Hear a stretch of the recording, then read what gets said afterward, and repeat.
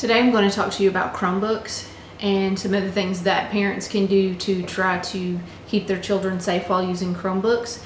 Chromebooks do not have the same kind of controls that an iPad or an iPhone or even an uh, Android phone would have, but there are still some things that you can do. So those are the things that we're going to look at today.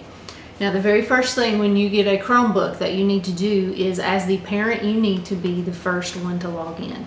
As far as Chrome is concerned, the first person to log into a Chromebook is the owner of the Chromebook and the one that has the ability to control the settings on the Chromebook, including the settings of the other users. So step number one is the parent login with a Gmail account. If you don't have a Gmail account, you can create one, they're free. Next question I'm sure is going to be, but what if I already gave my child their Chromebook and I didn't log in first? They did and they're the owner. Well, that's one of the great things about a Chromebook. You can erase the Chromebook back to factory settings and because everything is stored in the cloud, none of their stuff will be lost. Everything that they do, for the most part, is in the cloud. That's the premise behind the Chromebook. That's why it has such a small hard drive. Um, an exception might be if they had downloaded some textbooks or something like that, but the textbooks are still on the website and they can download those again. So no problem if the child has already logged in and become the owner of the Chromebook. We can do what is called a power wash so that we can start all over and the parent can be the first one to log in. So I will show you how to do the power wash as well if that is the problem that you're facing. So what we're going to do today is I'm going to power wash this one and then show you how to make yourself the owner of the Chromebook and show you the few settings that you need to do to help keep your child safe and also talk about some things like in our case that our school does for the ones that have Chromebooks.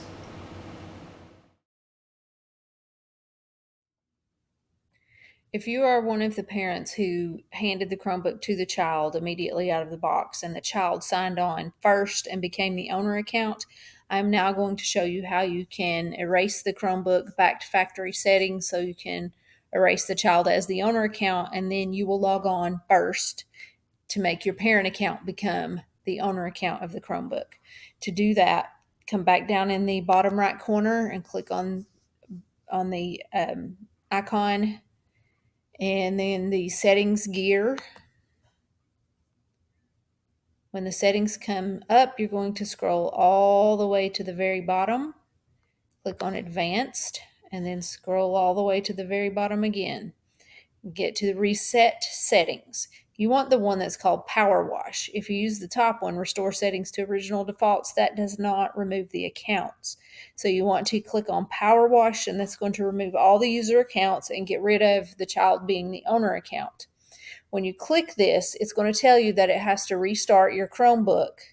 You'll click for it to go ahead and restart. When it comes back up, a window will come up and ask you if you are sure that you want to power wash your Chromebook. And you will tell it yes, and it will go through the steps to erase the Chromebook.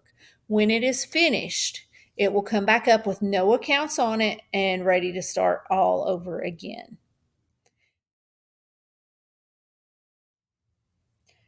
We're going to look at the settings that you need to change on the Chromebook. At this point, we are assuming that you, being the parent, are the first one signing into the Chromebook. So you will sign in with your Gmail account. And then you're going to click down here in the bottom corner, bottom right, and choose the settings gear. Click that. And then we're going to come over here and go down past network and Bluetooth and find the section about people. And we're going to manage other people. So we're going to click on that. Where it says enable guest browsing, you want to turn that off. The reason for that is if you allow guest browsing, guest browsing does not keep the history. It, in fact, it doesn't save any settings that are made while the person is using guest browsing. It resets every single time. So you want to make sure and turn off the enable guest browsing button. You do want to allow to show usernames and photos on the sign-in screen. And then you want to turn on this one that says restrict sign-in to the following users. Of course, if you're just doing this for the first time, yours should be the only one showing with owner beside your name. And then this is where you add the people that will be allowed to use the Chromebook. The reason you want to restrict it is so that you only have the accounts on the Chromebook that you are aware of. For example, if your kids go to CCS, it best practice would be for you to add their CCS account and not allow a personal account. Here's the reason. CCS has an agreement with Securely, which is a filtering software, to filter our CCS student accounts. So no matter what device that they sign on to with a CCS Gmail account, they are filtered by Securely, filtering out pornography sites, gambling sites, um, sites that you would not want your child to visit. It filters all that junk out. And it does it whether they are on campus or off campus, 24 hours a day, seven days a week, as long as they are signed in with their CCS Google account. So I advise you to just allow their CCS account. So what you would do, you would click add person and you would type in your child's CCS email address and it needs to be the full concordchristianschool.org as their username and click add that person and then they will be able to sign on the next time they need to use it. Now, if you do allow them to have a personal account on the Chromebook, then keep in mind when they're on campus, we have a filter on our network. But as soon as they leave, unless you have a filter on your network, that personal account would not be filtered. So please keep that in mind when you're setting this up. And if your child doesn't go to CCS, you might want to have a conversation with the tech people at your school to find out if school accounts are filtered when they are not on campus. But we use something called Securely, and in so far it has worked great.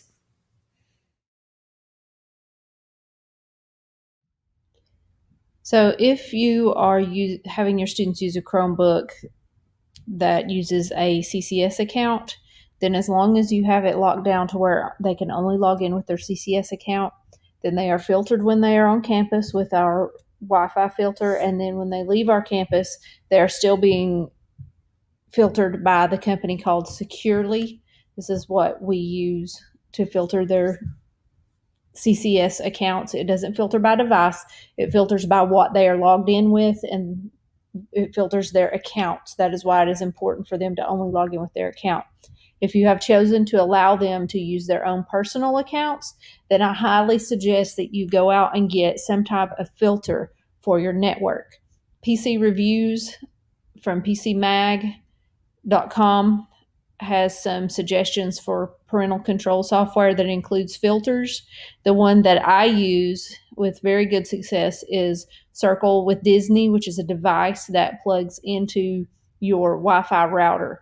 I will do another video blog on that one to explain it in more depth at a later date, but I do highly recommend that one. Um, I have heard of some people that use Symantec, Net Nanny. Um, Mobicip is a new one that's supposed to be really good. Uh, several people use OpenDNS that I know of. So you do, if you are, are going to allow them to have their own personal accounts, that are not filtered by the school, I do highly encourage you to get some other type of filtering software or device on your home network.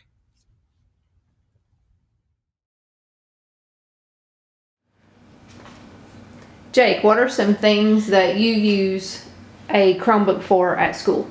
Okay, well, I use my Chromebook to see all of my classes that I'm in and like the assignments and stuff that we have will be all listed. What here. program is that? This is uh, Google Classroom and your teachers can like give you a code to get in it and all that stuff. And then you can also get your textbooks and stuff. This is my history textbook. It has all the contents and stuff. And all the you just search all the stuff there. And then you can do reports on stuff. This is one I've done before. It was for my computer class and learning how to use images. And what did you do that in? What program? Uh, this is in Google Docs And you can also research stuff. This is Wikipedia. It has a bunch of stuff that you can search. And what's that tab that says IXL? What's that? Okay, so this is just like math. So that's And you do another math. that's another program that you can do on the Chromebook, right? Yes. And then did you want to tell people stuff? Oh yeah, go check out my YouTube channel. It's Awesome Guy 101. It's gaming stuff. Thanks, so go Jake. do that.